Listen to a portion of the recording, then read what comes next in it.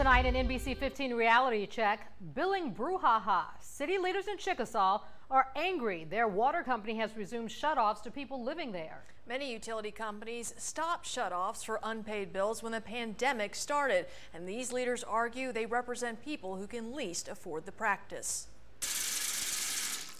Tapped out water customers are now being cut off by Prichard Waterworks and Sewer Board.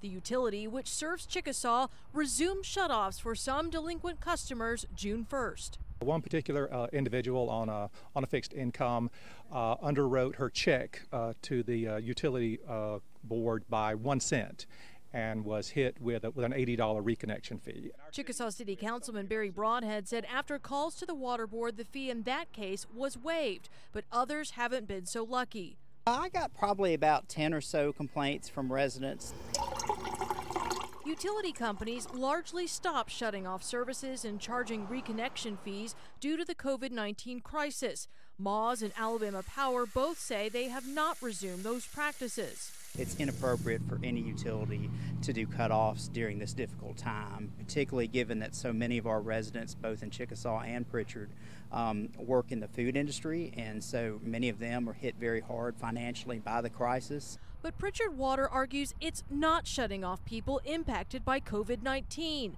Of the 348 customers disconnected, Prichard Water says all had balances pre pandemic, going back to January.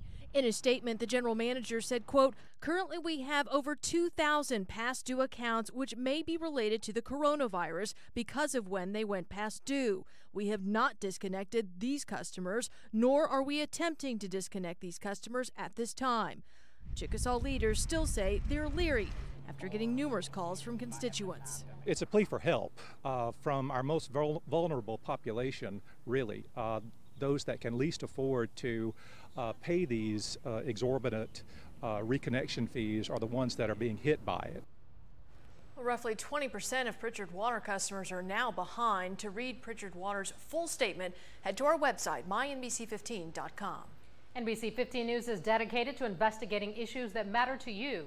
If you see something that affects you or your community, we want to know about it. Give us a call on our Reality Check hotline, 1 877 315 7268.